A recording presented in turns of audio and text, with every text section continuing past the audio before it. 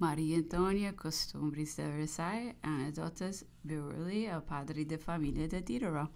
Premier de agosto. El tiempo seguía constantemente malo. A las tres el gran mariscal vino a buscarme para presentar unos ingleses al emperador. Precisamente yo acababa de salir un instante a tomar el air. El emperador me mandó llamar a las cinco. Estaba de mal humor y un poco contra mí. Decía, ¿por qué la visita de los ingleses? El mal tiempo, el estar el salón ocupado y la falta de interpreta. Todo le había contrariado.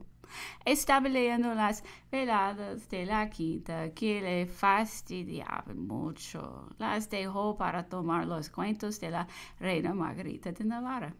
Luego se puso a hablar de Versailles, la corte, la reina Madame Campagne y el rey.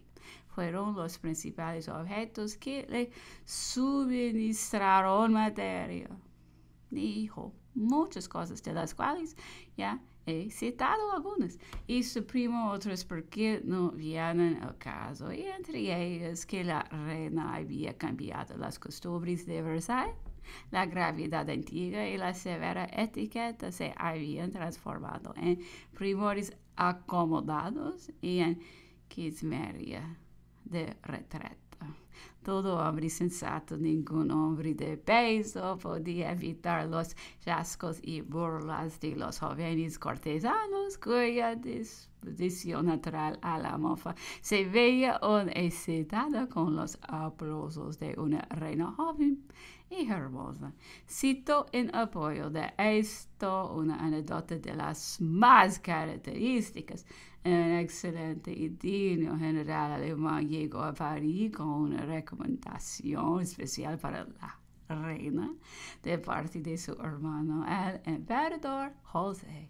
La reina creyó que el mayor obsequio que podía hacerle era admitirle en su sociedad privada.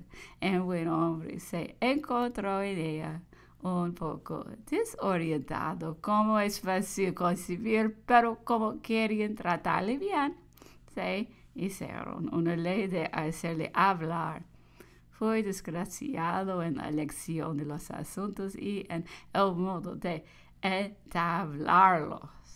Hablo mucho de su yegua blanca y su yegua gris, e las estivava mais que todo quanto tinha.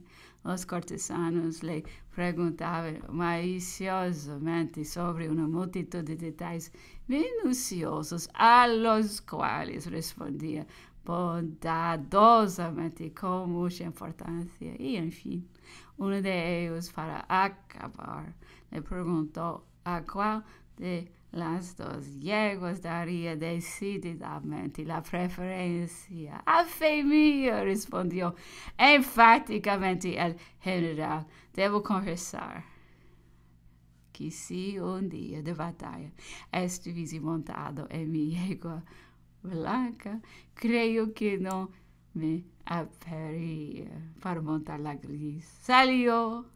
El buen hombre y Dios sabe cuánto se rieron de ella. Habiendo tomado la conversación un rumbo diferente, se discutió con mucha finura y sagacidad sobre las rubias y las morenas. Y habiendo preguntado la reina a uno cuál sería su preferencia, este al instante tomando el tono solemne del austriaco dijo, a fé minha, Senhora, devo confessar que se um dia de batalha estivesse montado, basta, respondeu a reina, dispense-me usted o resto. Depois de comer, o imperador nos leu Brewerly e o padre da família.